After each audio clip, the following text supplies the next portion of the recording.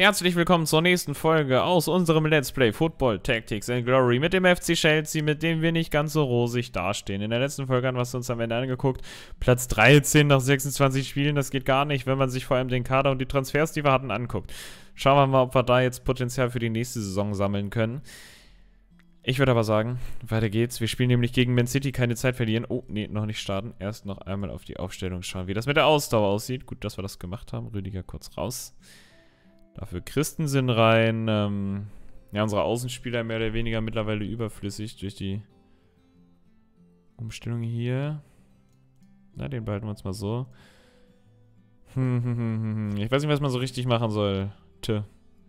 Auch hier zum Beispiel unsere jungen Spieler. Kommen ja nicht zum Einsatz. Ich hatte gehofft, dass man vielleicht Spiele hat, in denen man verschnaufen kann, in denen man die Spieler schonen kann, in denen man junge Spieler einsetzt. Aber so ist es nicht, denn bisher ist es äh, eher so, dass selbst unsere guten Spieler strugglen, hier irgendwas zu reißen. Auf geht's. Jawohl, wer war's? Die Bräune mit dem Kanonenschuss. Schade, der Ausgleich. Nicht das Spiel drehen lassen. Jawohl, und? Oh, 90. überstanden. Bad Schweiner mit einem Gewaltschuss. Da muss man ja mal aufpassen hier mit dem Spiel drehen. In der 90. Minute ist wirklich nochmal so, also 45. und 90. da kriegt man gerne Gegentore. Ähm, da schlägt die Simulation nochmal so richtig zu. Ich glaube, weil es gibt halt oft Ecken in dem Spiel und das Spiel geht so lange, bis es halt keine Ecke mehr gibt. Und es wird immer wieder eine Ecke halt ausgeführt. Das bedeutet, es kann teilweise halt vier, fünf Ecken am Stück geben. Naja, und da muss man ehrlich zugeben, da fallen schon gerne Tore nach Ecken, ne? Wenn man das Spiel mal so gesehen hat. Naja, auf jeden Fall mal einen äh, schönen Konkurrenten, also was ist Konkurrenten, einen starken Gegner geschlagen. Das ist schon mal gut. Und jetzt gegen den letzten. Ich sag mal so, das ist normalerweise ein Pflichtsieg. Wir sind jetzt auch nicht die Überflieger, auf gar keinen Fall. Aber wenn man mal ehrlich ist, muss das halt klappen, ne? Und ich will auch nicht Hazard oder Übelien zum Beispiel rausnehmen. Son spielt halt auch stark, der trifft auch gerne, ne? Der hat auch hier diesen Kanonenschuss. Äh, Hackentrick meine ich, aber die anderen sind halt auch mega gut dabei, ne? Also ich meine, wenn die fit sind, dann spiele ich die dann doch schon lieber. Hier machen wir es wieder so. Und auf geht's kaum. Kein frühes Gegentor. Mindestens ein Punkt. Normalerweise gegen die drei. Oh, nehmen wir keinen mit. Jawohl, lasst euch drei Buden reinmachen, Alter. Was? Dreimal Payet. Ich spiele mit fünf Verteidigern. Stehen die sich im Weg rum oder was? Gegen den letzten haben wir jetzt eine Klatsche kassiert. So, wir machen das jetzt mal wieder anders. Ich weiß zwar noch nicht wie. Einer da hinten. Nee, eigentlich brauchen wir einen davor. Okay, Rüdiger. Christensen hat hier gut abgeräumt. Wir stellen wieder so ähnlich um, wie wir mal waren.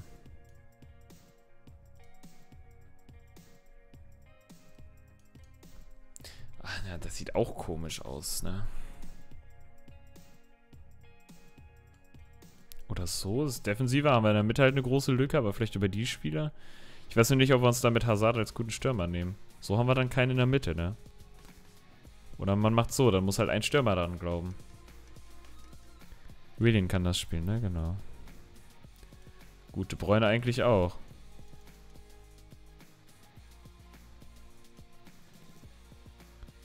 So haben wir auf jeden Fall unsere Spieler wieder besser angepasst. Da kann der nämlich auch mal Moses auf rechts spielen oder halt auch äh, Shakiri auf links, ne?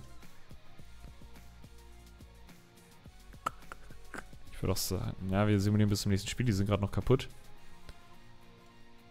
Die nächste Umstellung hier sieht erstmal kompakter aus, ne? Ich, da das eine Simulation ist, befürchte ich, dass vielleicht sogar einer hier in der Mitte stehen muss. Weil man hat ja nicht so Laufwege, in denen man sich durchpasst. Man hat drei Züge pro Spielzug und dann ein... Ja, von der Mitte schießt man eigentlich schon besser. Mal schauen, der ist noch kaputt. So, Hazard. LS passt schon. Könnte auch ZOM machen zur Not. So, jeder hat jetzt natürlich einen richtig scheiß Passwert, der William. Der muss eigentlich... Eigentlich muss er schießen.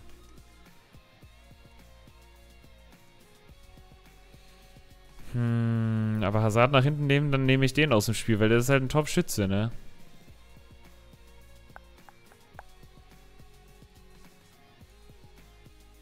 Zwei Mittelstürmer, das reicht erstmal. William. Erstmal spielt der De Bruyne jetzt und Moses mal wieder. Nehmen wir uns die Option, indem wir William erstmal rausnehmen. So, Son wird dann auch eher wahrscheinlich linkes Mittelfeld spielen. Dann müssen wir uns dann von einem trennen. So, Shakiri oder Son zum Beispiel. Mal schauen. Erstmal schauen, ob das überhaupt klappt. Ey, das ist ja... Auf geht's, kein frühes Gegentor. Jawohl. Und? Jawohl. Ah, nicht noch eins. Batschwei und De Bruyne. Uff, 90. auch überstanden. Durch die beiden haben wir gewonnen. Wichtige Punkte. Wie gesagt, wir brauchen mal eine Streaks. Okay, Hill verbessert sich da. Ich glaube, ältester Spieler hier des Teams. Everton zieht Arsenal ab. Arsenal spielt halt auch eine scheiß Saison, ne? Menu auch so überhaupt nicht dabei. City vorne, Liverpool noch so halbwegs. Komm, vielleicht nochmal zwei Siege jetzt hier. Voll auf die Liga konzentrieren. Gegen 18. Gegen den 89. Weil wir wen anders haben gewinnen lassen. So, komm, jetzt können wir hier auch das denke ich ohne Bedenken so machen. Weil der William kann halt auch schießen mit der Doppelspitze. Mal schauen, fürs erste Spiel mit der Aufstellung lief das doch gerade schon mal gut. Mal schauen, wie das nächste wird. Kein frühes Gegentor, wie immer, ne? Ja, haben wir geschafft. Halbzeit auch überstanden. Und jetzt kein spätes Gegentor. Wow! Wir holen uns durch Moses. 90. plus 2. Die rote Karte noch ausgenutzt. Wenn ich das richtig gesehen habe. Sehr schön. Man muss auch mal Glück haben. Wir hatten oft genug Pech. Gucken wir nur noch die Liga jetzt hier, ne? Andere Sachen haben wir uns ja selbst eliminiert. Ähm... Ja, hier uns die Quäter wieder rein. Eigentlich lief es ja, ne? Alonso will ich nicht rausnehmen. Moses muss aber mal raus. Kanté spielt vor allem gar nicht. Statt Moses machen wir jetzt mal die Freunde nach da. Und hier Batschwei und dann Hazard nach hinten.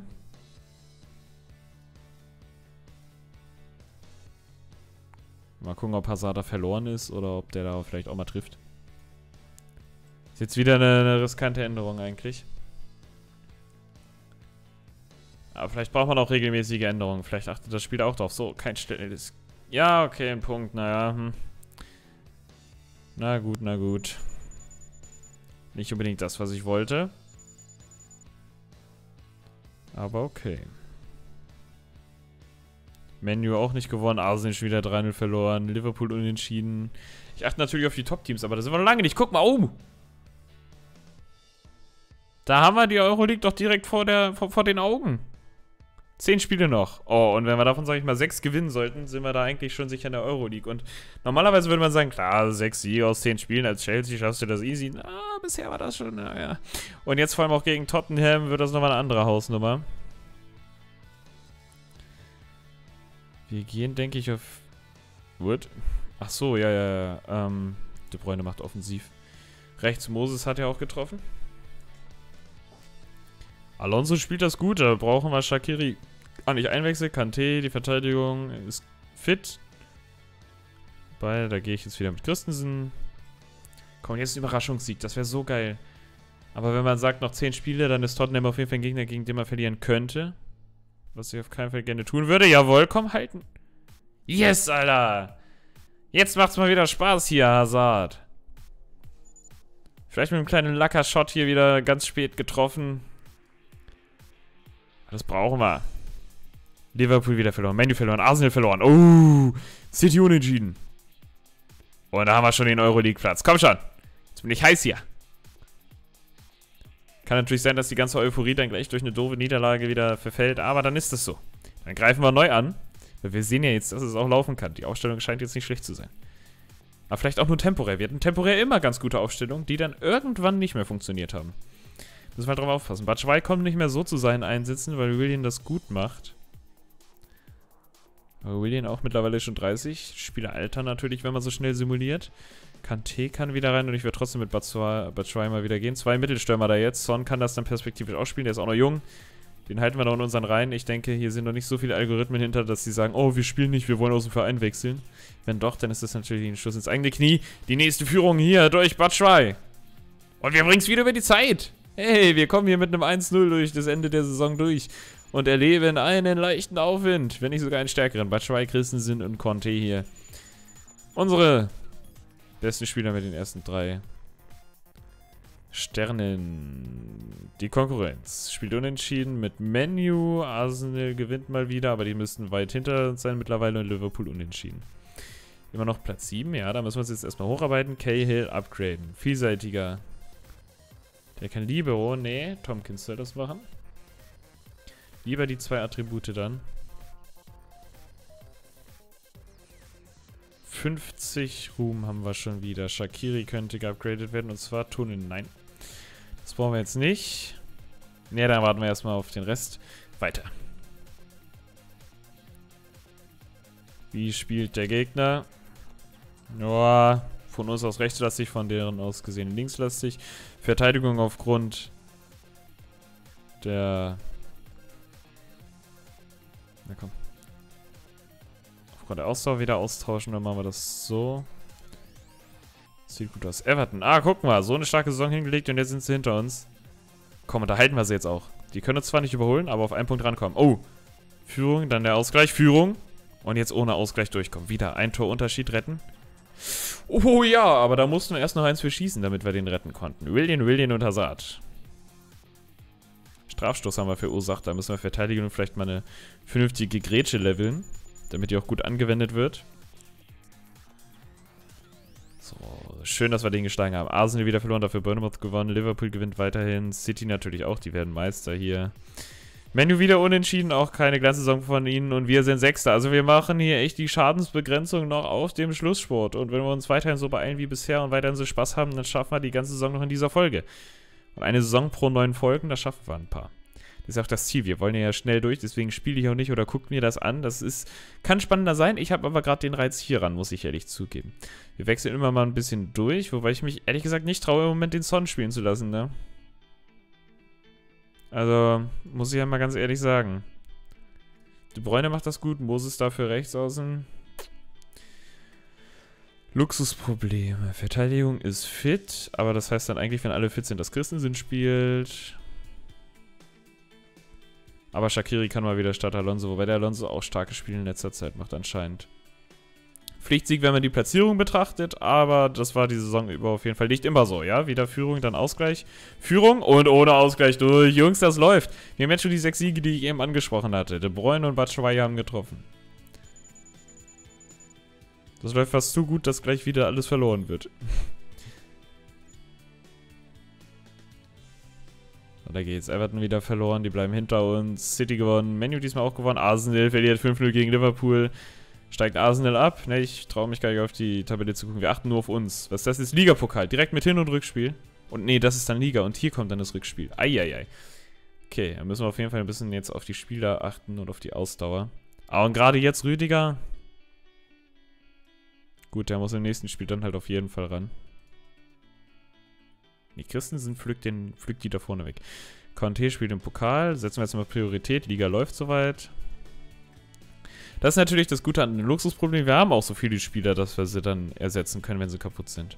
Deswegen Hazard und Batshuayi, nee, ähm, William, Batshuayi spielt das nächste Spiel dann wahrscheinlich mit Son. Morata können wir eigentlich nächste Periode verkaufen, weil der spielt ja gar nicht mehr. Die Frage ist, wenn wir auf drei Stürmer wechseln, dann könnte man den doch wieder gebrauchen. Die spielen sehr defensiv, unsere Gegner hier. Swansea, komm, Pflichtsieg. Jawohl, Auswärtstor ist da. Können wir sogar einen Ausgleich reinkriegen. Würde ich ungern tun. Habt ihr gesehen, was das für eine lange 90. Minute war? Da waren schon wieder äh, Ecken am laufenden Band bestimmt zum Schluss. Aber auf jeden Fall ein Sieg, ein Auswärtstor. Und viele Spielupgrades. William hier hervorzuheben. Weil er auch wieder einen Stern gesammelt hat. Everton gewinnt gegen Arsenal. Das sieht nach einem Finale Chelsea gegen Everton aus. Muss es aber nicht sein. So vorsichtig muss man dann an der Stelle auch sein. Spieler upgraden konnte ich jetzt nicht, oder? Stellen wir uns auf den Gegner ein, so wie angekündigt. Einige kaputte Spieler und auch das nächste Spiel wird dann nicht angenehm. Rüdiger da vorne, nee. Der kann wieder nach hinten, wenn er kaputt ist. Ja, Azpiliqueta und Christensen wechseln sich mit dem Spieler vor der Abwehr ab, der den er abfängt. Shakiri. Die anderen sind sogar noch relativ. Aber ich hab's versprochen. Neuer Doppelsturm für dieses Spiel. Hoffentlich klappt's. Direkt Swansea City in der Liga. Die sind vor allem Fünfter. Gut, dass wir gegen die gewonnen haben. Schaffen wir es auch nochmal? Wäre böse, wenn nicht. Da war der Pokal jetzt doch ein bisschen wichtiger als die Liga. Jawohl, noch ein Sieg, komm. Ja, durchgebracht. Also, Son beweist sich hier nach vielen Spielen, die er nicht gespielt hat. Dass er wichtig ist, dass er treffen kann.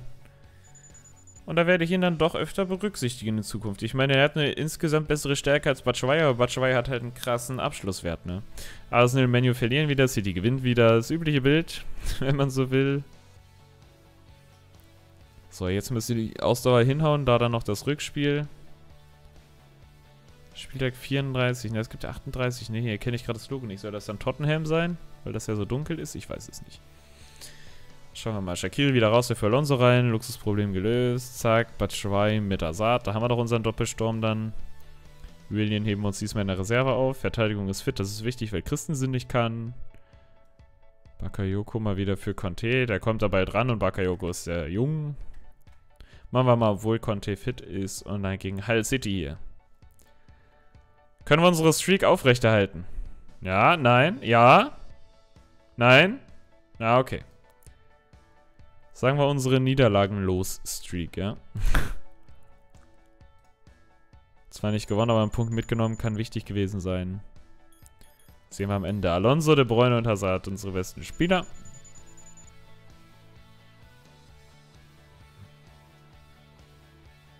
So, was haben wir hier? Viele Unentschieden. Liverpool gewonnen, Menu verloren. Oh, Liverpool gegen Man City gewonnen.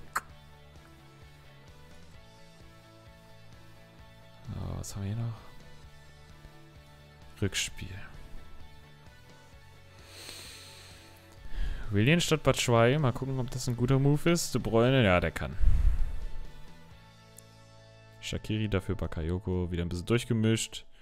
Scheint zu klappen, wenn man immer mal ein bisschen was, bisschen was ändert. So, kein frühes Gegentor. Komm, wir haben das Hinspiel 1-0 gewonnen, hatten das Auswärtstor. Solange Swansea nicht trifft, ist alles gut. 2-1 reicht denen aber leider. Na, dazu kommt es aber nicht. Wo hätte es denen gerecht? Weiß nicht. Shakiri hat im Wettbewerb rot. Haben wir den Ersatz mit Alonso, achten wir drauf. Oder zählt das nicht wettbewerbsbezogen? Hat jetzt überall rot. Oh! Beide haben einmal 2-0 gewonnen. Das heißt 3-0, war das dann Elfmeterschießen für Arsenal oder was? Chelsea-Arsenal, Londoner Duell im Finale. Oh, und war es das dann? Habe ich schon das Ende der Liga verpasst? Aber 34 Spieltage, ist doch ein Fehler. Hatten die nicht, haben die nicht 20 Teams in der Liga? Pff, das ist jetzt auch Information wahrscheinlich von Manager 07, aber... Ja, ja, das mit Shakiri ist okay. Ligapokalfinale. Hey, das wäre doch jetzt auf jeden Fall mal ein geiler Abschluss von der gesamten Saison dann noch.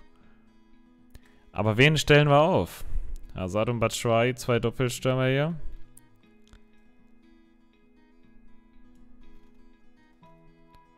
Kante da finden. Alonso Moses ist eigentlich gesetzt.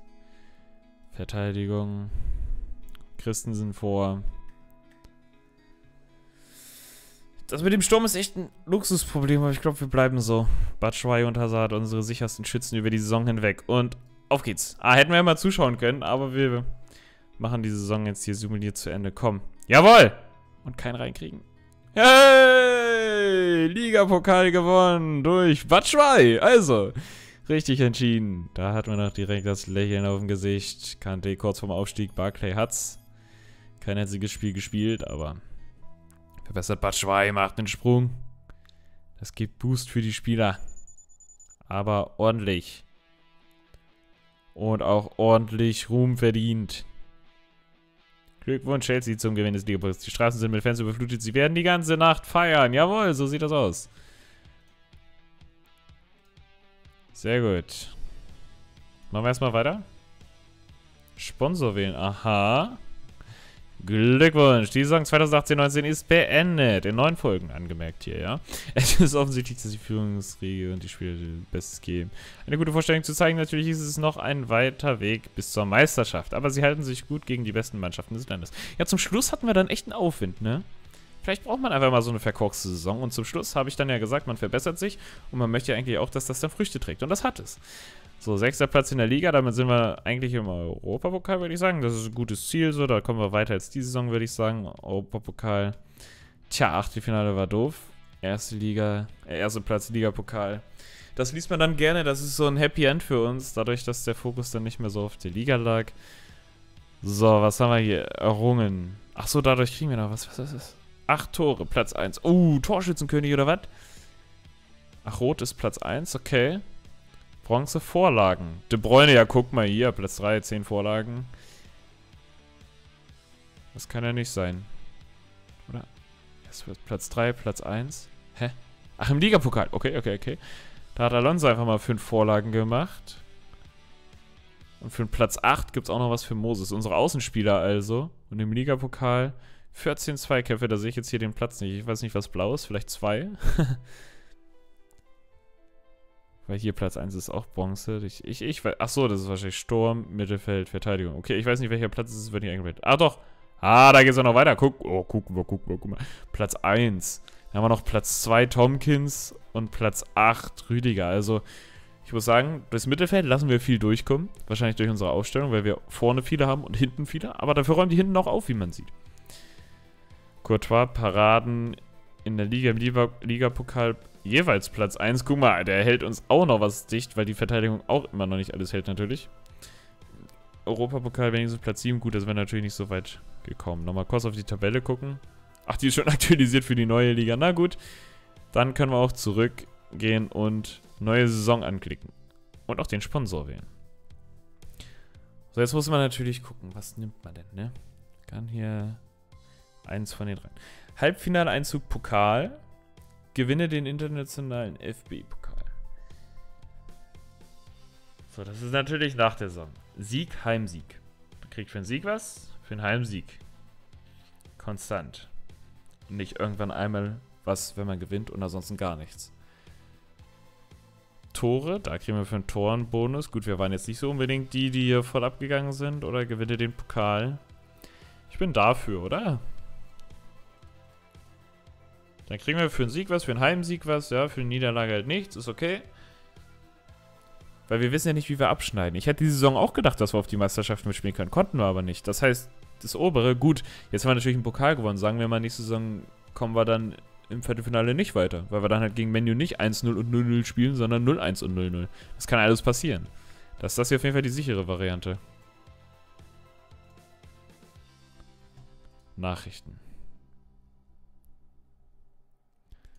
Jugendspieler. So, was ist denn? Transferfenster ist offen. Ligapokal. Ja, mal, wir spielen in der Gruppenphase mit. Das ist so alles, was wir wollten, oder?